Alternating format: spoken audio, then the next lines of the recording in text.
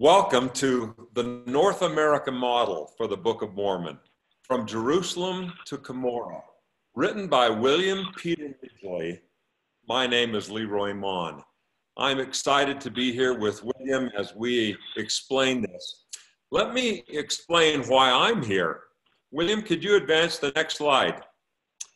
True learning is knowledge and know-how coupled with belief and action. As the life of the mind is expanded by these factors, it never returns to its original dimension. I'm grateful that I've had the opportunity to get to know William because he literally has helped stretch my mind as it relates to really studying and learning about the Book of Mormon.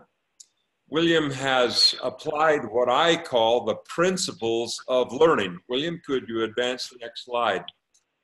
The principles of learning are these. Number one, learning is absolutely a choice. Second, when we have a vision in mind of what we can become, we then are motivated to do those priority things that allow us to step in the right direction.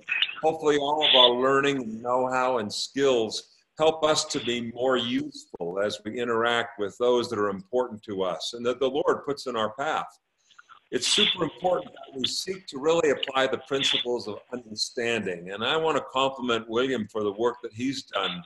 He's taken his background and knowledge in architecture and he has sought to look at the complex and make it simple. I think you'll be incredibly impressed as you see the understanding he's gained from the skills that he has developed over many, many years.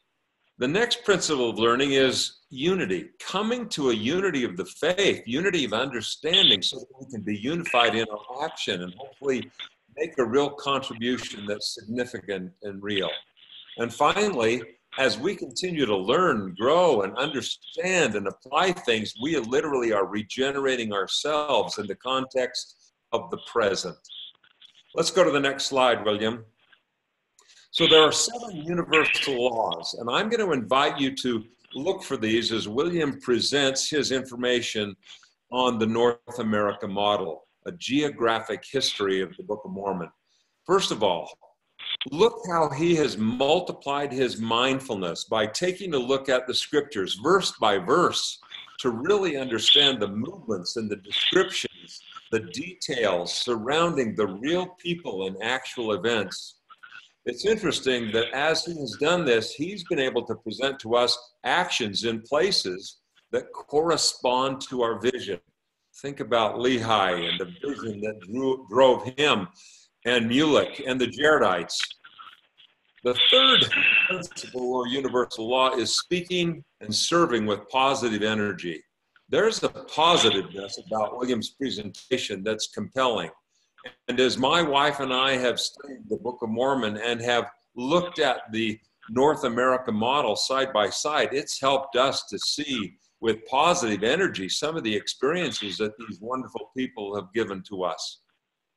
Four, we want to transform negatives to positive. As you think about some of the geographic challenges that these um, wonderful early saints had, it's impressive to see what William has done to actually give us some locations and descriptions and in, in real time. Next, how do we exercise agency for purposeful progress? I think William has done a, an exceptional job of utilizing his talents and his agency. And I'm going to invite you to look at the book and to see what can do to help you in the purposeful progress that you're wanting to make. Now, R6. William has reviewed his work. He has renewed what worked. He released what didn't. He realigned with his deep purpose. And then he's refined and refined and refined this book. And hopefully it's presented to you now in a way that allows you to regenerate your interest and love and passion and compassion for the characters and the message. And number seven, how can we use this to yield to our best and highest self? I've been impressed and inspired with William's work, and it complements what the Book of Mormon is all about. I'm grateful to know William. I'm grateful to introduce him. So, William, with that, teach us, my friend. Thank you, Leroy. I am William Peter Midgley, author of the North American Model for the Book of Mormon from Jerusalem to Cumorah, a geographic history of the Book of Mormon from beginning to end. The purpose of this presentation is to introduce you to how the North America model came to be and explain why it is compelling in its details. Please follow the PowerPoint slides as I provide the accompanying narration. At a 2017 BYU Book of Mormon conference, Elder Jeffrey R. Holland gave a talk that discussed the value of finding evidence that affirms the witness of the Holy Ghost. Elder Holland said, quote, In making our case for the restored gospel of Jesus Christ, I believe God intends us to find and use the evidence he has given, reasons, if you will, which affirm the truthfulness of his work. But he goes on to say, Our testimonies aren't dependent on evidence. We still need that spiritual confirmation in the heart of which we have spoken, unquote. In other words, we should seek all physical and scientific evidence that the Lord has given, certainly that which has been given to us by commandment. It is in that context that the North America model affirms the witness of the Holy Ghost, proving how remarkably accurate the Book of Mormon is when it comes to the commandment the Lord gave to Nephi in 1 Nephi 9 to engrave on other plates an account of the reigns of the kings and the wars and the contentions of the peoples, for a wise purpose unbeknownst to Nephi. That command includes writing about the travels and journeys of the people, providing evidence of where the sacred as well as the contentious events occurred. Such geographic evidence, when discovered, certainly enhances the truthfulness of the Book of Mormon as being a witness of, the, of Jesus Christ proof that Joseph Smith was indeed the prophet of the restoration, and that the Book of Mormon is the keystone of our religion, as Joseph said. The North American model also addresses the unfortunate situation where once faithful members may fall into faith crises, throwing away a sure knowledge gained by the witness of the Holy Ghost for evidence which on the surface may appear to be anachronistic, or which conventional wisdom declares does not exist at all. In fact, the genesis of the North America model is the result of running into just such a sad case of misplaced faith crisis. But before I get into that, let me share some, some background as to who I am. You may have asked the same question I had for myself why me? Let me explain. I'm a lifelong member of the church with fourth generation 1850s Utah pioneer heritage. Born and raised in and around Jackson County, Missouri, the center place of Zion. While I do not have the usual academia resume, most of my life has been involved in the profession of architecture, having graduated from the University of Michigan School of Architecture in 1960. It is what I did for a living for 50 years on a wide variety of building types, including 25 years on projects for the church throughout the Midwest. How does that relate to the skills that I bring to this topic? Architecture is one of the truly multidisciplinary professions in which the basic skill of the architect is in finding physically order in the theoretically complex. However, this work is not without peer review by individuals with serious academic credentials. Let me introduce you to my personal, unofficial thesis committee. My older brother, Dr. James E. Midgley, was a mathematics professor at the University of Texas at Dallas. He graduated from the University of Michigan Engineering School with three engineering degrees in four years with a 4.0 GPA, and he then received his PhD from Caltech in plasma physics. My brother in law, Dr. Ronald W. Walker, was a BYU history professor and highly respected LDS author. And Dr. S. Kent Brown is a BYU Emeritus Professor of Ancient Scripture, an expert in Near Eastern Studies. Dr. Brown responded to my analysis of his work on Lehi's travels through Arabia. He wrote to me, quote, I find your suggestion about the three days of travel to the River Laman to be intriguing. That view shortens the distance that the family traveled 75 miles to a more reasonable distance, unquote. Dr. Ronald, uh, Dr. Walker followed the work from start to finish. He wrote, quote, please keep going with your research. It looks promising. Certainly, we need new perspectives. You've done fine work. I hope that your project may go successfully forward, unquote. And my brother, who warned me that he had studied every model out there, His response, quote, It's a winner. You have a great thesis, and it couldn't be presented more convincingly. It should be published, and I have no suggestions for changes, unquote. All three responses would make any PhD candidate smile. Regarding the Book of Mormon, I have believed it to be true ever since I was baptized at the age of nine in 1946. I was excited in 1948 by Thor Heyerdahl's Kon-Tiki expedition to the Polynesian Islands, which proved that ancient peoples could travel great distances across oceans. Then in 1956, Milton R. Hunter's Archaeology in the Book of Mormon focused on Mesoamerica as a location for Book of Mormon events. However, Kontiki nor Mesoamerica studies, satisfactorily addressed issues such as how Jared, Lehi, and Mulek all ended up in relatively near each other in Central America, or in dealing with the problematic issue of how the plates ended up in an obscure hill in upstate New York, 3,000 miles away. While the genesis of the North America model goes back 30 years, I began to address the subject in earnest seven years ago when I ran across a series of articles on Book of Mormon findings that piqued my interest. The first addressed a Book of Mormon challenge by a Marion Bodine, an ex Mormon who was a staff member of an evangelical Christian radio program, the Bible Answer Man, that I ran into over 25 years ago. She tried to convince me that the Book of Mormon was false because of a claim in the narrative that clearly did not exist according to her.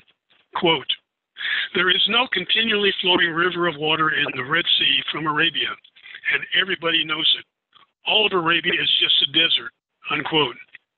She emphasized the statement that everybody knows it as if that made it a slam dunk killer argument. The 1999 article by George Potter, published by the BYU Neal A. Maxwell Institute on the Valley of Lemuel, with a continually flowing river of water into the Gulf of Aqaba, the fountain of the Red Sea, flowing through a 2,000 foot deep granite canyon, got the ball rolling. Articles on Nahom and Bountiful in Arabia by S. Kent Brown and by Warren P. Aston followed. Additional articles by Rodney Meldrum and the Firm Foundation on a 2009 expedition of a 600 BC Phoenician ship replica that sailed clockwise around Africa, and on the scriptural basis for the Heartland model, the land of the United States of America, were important. With that foundation, I prepared a synopsis of those findings utilizing the new technology of Google Maps to do what I had attempted to do 30 years ago previously, but without the false claim of the River Laman ringing in my head and the recently discovered findings in Arabia. It became part one of what eventually became the five part North America model. Part one, Lehi's journey to the land of promise, confirms that the Book of Mormon is to be a highly credible resource for geography. In only 23 or 4% of the four, 616 verses in 1st Nephi, a complete and accurate record of Lehi's 11 year, 11,000 mile journey to the land of promise, including a new understanding of 1st Nephi 2, helps us to appreciate how accurate the Book of Mormon describes geography when little of it was known in 1830 America. The following maps and screenshots in Arabia are from Google Maps. It was a 75 mile journey from Aqaba to the River Laman, discovered by George Potter, and which did not follow the then well known route of the Frankincense Trail that opened my eyes to the Book of Mormon geography. First Nephi 2, 5 and 6, which did not make much sense to me for the longest time, reads, quote, and he came down by the borders near the shore of the Red Sea, and he traveled in the wilderness in the borders which were nearer the Red Sea. And it came to pass that when he traveled three days in the wilderness, he pitched his tent in a valley by the side of a river of water, unquote. Voila. He did not travel three days in the wilderness from Jerusalem to the river Laman, a distance of 275 miles. That is further than most for even the Pony Express, or even 75 miles from Aqaba. He first came 200 miles to the Red Sea, then followed the Red Sea shore 44 miles by the border mountains that were near the shore, exactly as described by Nephi. He then came to the border mountains that were nearer the Red Sea, even to its shore, at which time he traveled 26 miles in the wilderness in the mountains that were nearer the Red Sea for three days, till he reached the uh, Valley of Lemuel with a spring-fed river of water. That's the three days. The geography continued to hold true as they left the Valley of Lemuel, led by the Liahona, for four days, again in the wilderness, 60 plus miles, nearly south-southeast to Camp Shazer. Then two legs of the journey south-southeast for a space of many days each in the mountains along the west coast of Arabia to a place called Nahom. uh, and then, quote, nearly eastward to a lush place called Bountiful, from where they sailed to the land of promise. Who would have known all of that in 1830 frontier America? From there, I had always visualized Lehi sailing to the west coast of Americas, influenced partially by the Arnold Friberg painting of Lehi on the boat appearing to be sailing east. That changed with the article by Rod Meldrum on the 2009 History Channel expedition of the 600 BC ship, uh, Phoenician ship replica. The premise was that the Phoenicians sailed clockwise around Africa back to the Mediterranean Sea in 600 BC. The light then went on. That was the only reasonable way for Lehi to sail. In fact, the 2009 expedition came within 400 miles of the North America coast, following the ocean currents and prevailing winds in that latitude. It does not answer where Lehi landed, but it is a high probability that it was somewhere along the southeast coast of the United States. Part one proving the credibility of the Book of Mormon for geographic forensics. I was encouraged to test it out in the Land of Promise, which I did after verifying part two directional probability for the migrations of Jared and Mulek. According to Helaman 6, quote, the Lord did bring Mulek into the land north, where he ran across the bones of the Jaredites who had landed there previously, and Lehi into the land south, unquote. Alma 46 clarifies that all of the land south of the land desolation, both on the north and on the south, a chosen land and the land of liberty, clearly referring to the United States of America, resulting with a high degree of probability that all landings were on the east coast of the United States. I then turned my attention to the land of promise. However, a different approach was necessary there since there was no starting point like Jerusalem other than north and south. The key is finding a benchmark geography feature that can be identified by the written narrative and which will affect the entire geography. Hills, valleys, and narrow necks will not do that. Major rivers can, and there is no more major river described than the River Sidon. Without taking the time to go through the scriptural and geographic rationale for the River Sidon, suffice it to be that the only river system in all of North America that meets all of the criteria for the River Sidon is the Ohio Lower Mississippi River system. In reality, the Ohio River is the extension of the Lower Mississippi. The Upper Mississippi is the actual tributary. The 1990 uh, uh, Water Encyclopedia states, quote, at the confluence, the Ohio is even bigger than the Mississippi, and thus is hydrologically the mainstream of the whole river system, unquote. The Ohio lower Mississippi River has as its head the land of Manti, the watershed of the Monongahela and Allegheny rivers at the western foot of the Appalachian Mountains near the sea east, the Atlantic Ocean, 120 miles from Cumorah. Sidon runs from the east towards the west, emptying into the sea west, the Gulf of Mexico. The Book of Mormon designates the Ohio lower Mississippi River as the primary river system better than we do today.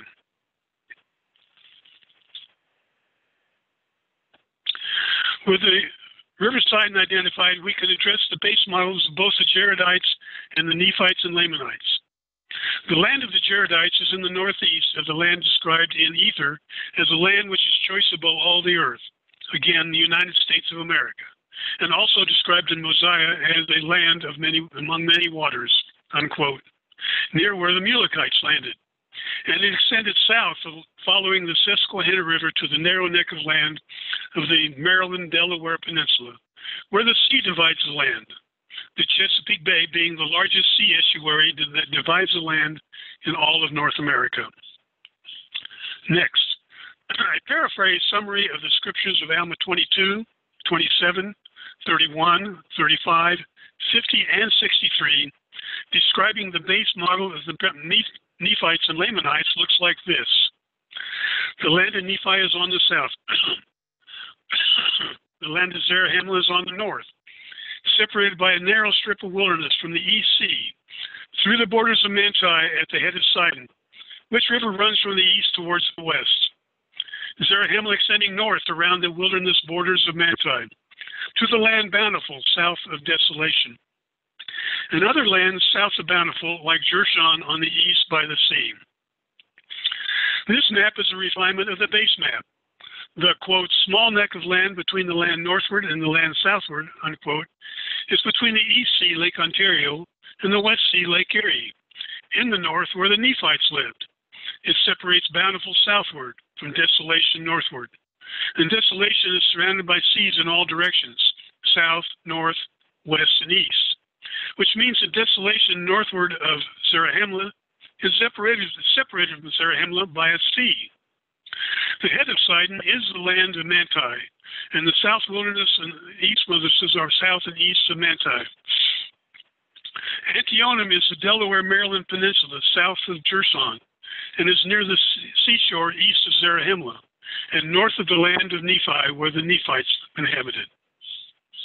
Other minor lands of Zarahemla include the land of Melech over by Jershon and the city and land of Moroni west of Antionum on the south near the straight line separating the Nephites and the Lamanites in the east.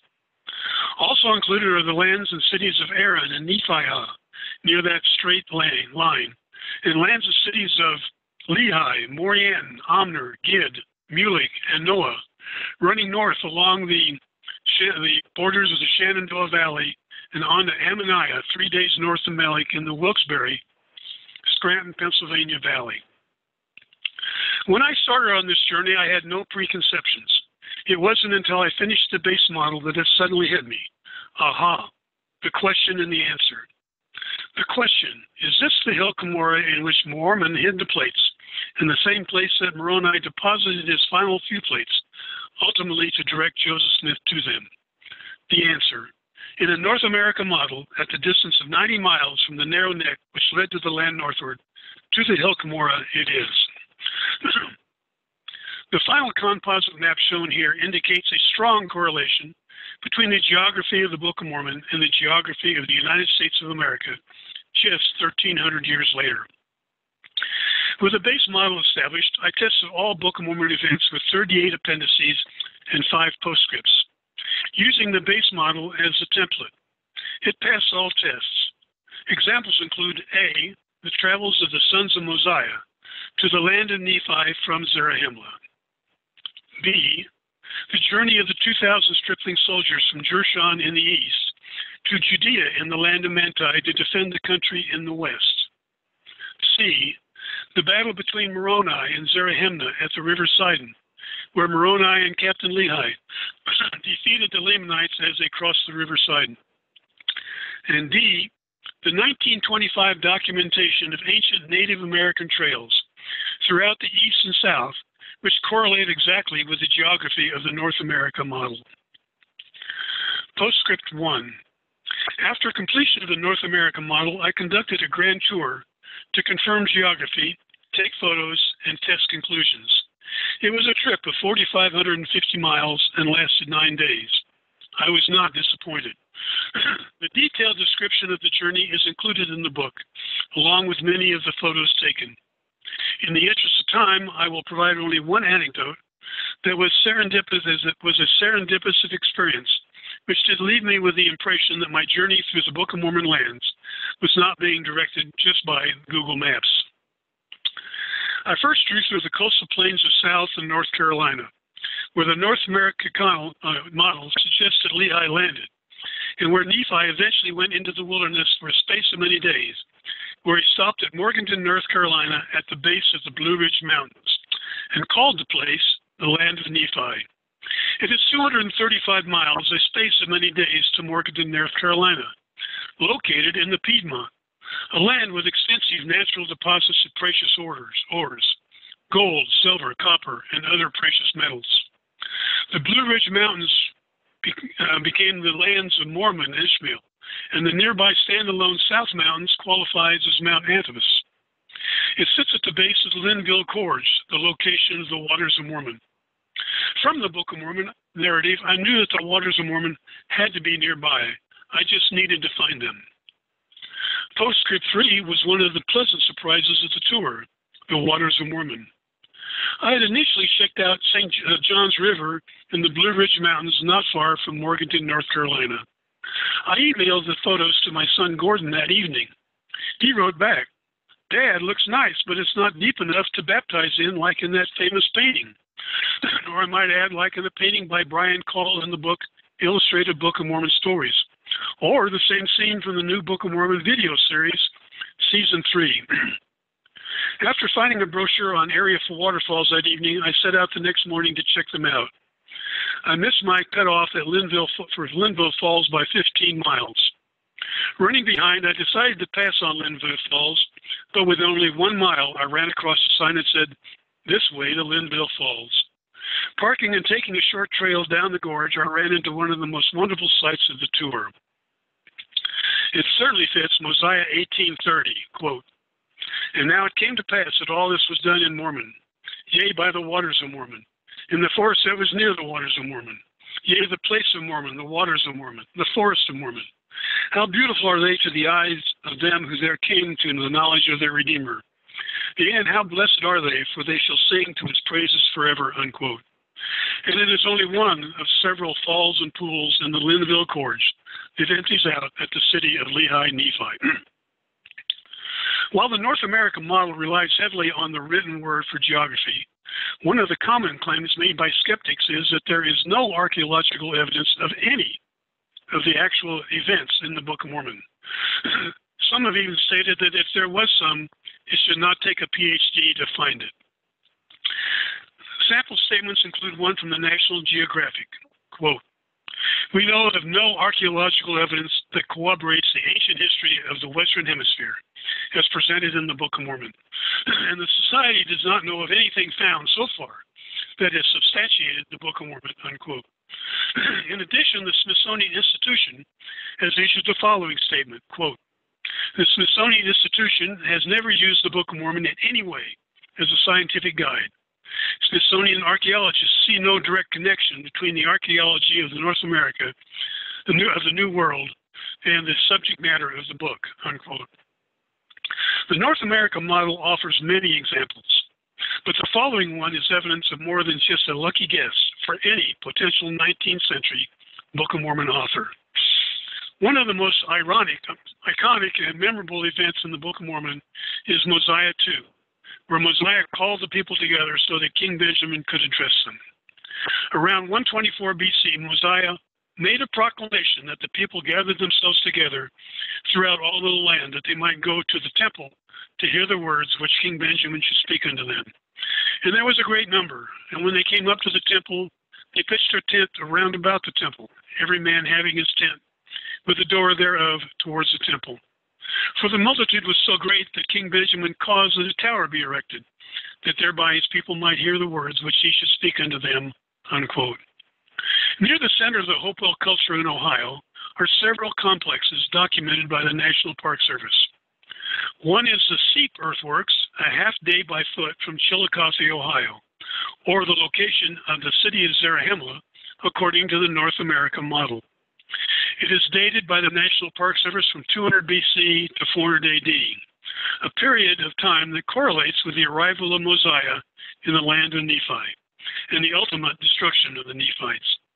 It had two miles of embankments and enclosed 120 acres. The large circle in the center enclosure is about 50 plus or minus acres. At its center is a 30 foot high mound the size of a football field dating from 100 BC to 400 AD starting about only 24 years after the events of Mosiah II. According to the National Park Service, the mound, fully excavated in 1940, quote, covered the floors, fire pits, and burial of two very large connected buildings with a small building between them, unquote. Could it be that the two large buildings were the remnant of a 124 BC structure referred to in Mosiah II as a temple in which burnt offerings were conducted as described in Mosiah 2 and 3. Quote, and they also took the first things of their flocks, that they might offer sacrifice and burnt offerings according to the law of Moses. Unquote. and the small building between them could have been the base of a tower from which King Benjamin spoke. It is certainly feasible that 50 plus acres could accommodate a great number of people, maybe 20,000 people in tents. Interestingly, that is as large a capacity as the conference center where General Conference is held. My architectural sense, informed by the well-known design philosophy that form follows function, tells me that the auxiliary enclosures were support spaces for the assembly function, such as sacrificial animal holding pens and enclosures for activities and games similar in function to our cultural halls today. It is typical that religious purposes are often ascribed to archaeological discoveries in the absence of written records. The National Park Service brochure acknowledges that when it states, quote, the mound builders left no written language or recorded histories, and no extant tribes are clear descendants of these people who lived so long ago, unquote.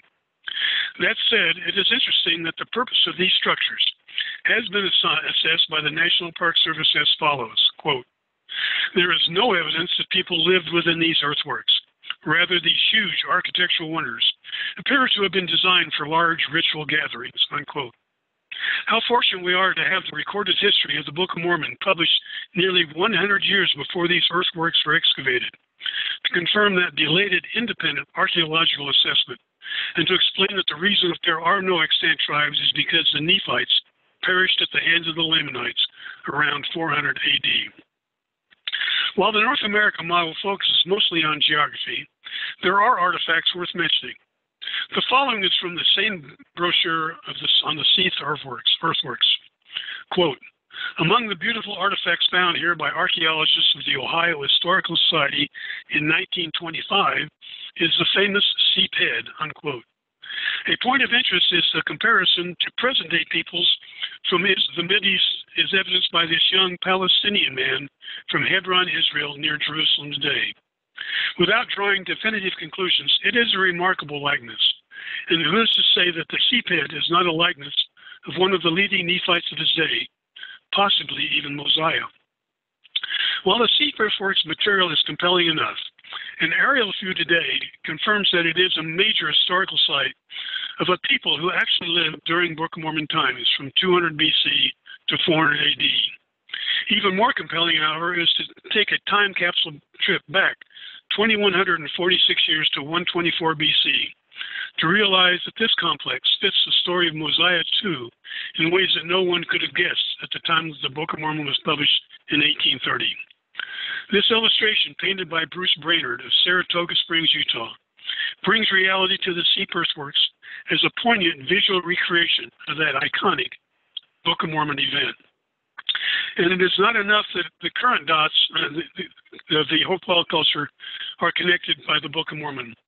The National Park Service also includes plans of several other ancient similar sites and notes the following quote at nearly equal intervals along the Paint Creek and the Scioto River valleys, almost two dozen giant earthwork complexes are constructed by the prehistoric people referred to as the Hopewell culture.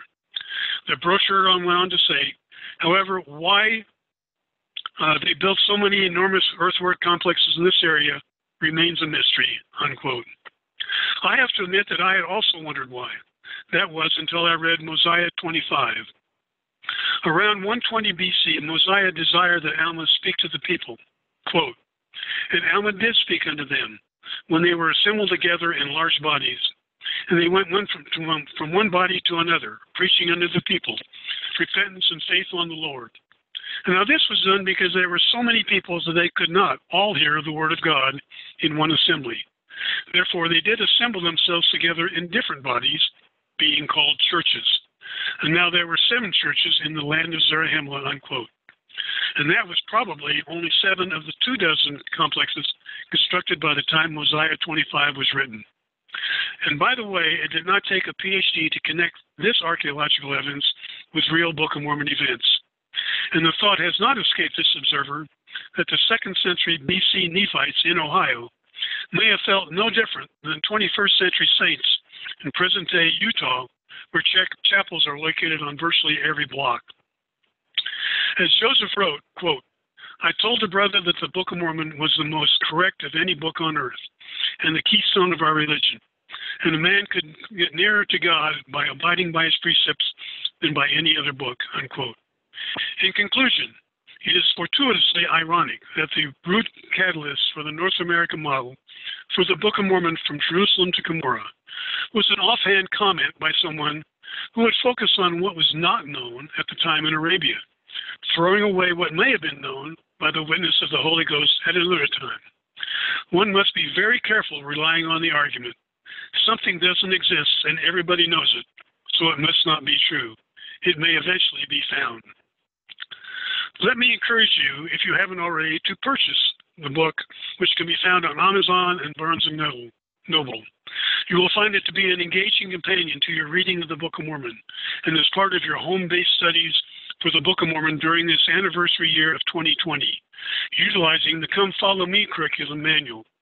And it also will be a great resource for families to plan weekend and day trips and summer vacations to visit sites described in the book, in relationship also to the great historic sites related to the founding and preservation of the United States of America. And with that, I conclude with my testimony that Jesus is the Christ, that Joseph Smith was his prophet, who dictated the Book of Mormon by the gift, power, and inspiration of God, and who restored the gospel of Jesus Christ in these latter days, to which I bear testimony in the name of Jesus Christ. Amen. And thank you.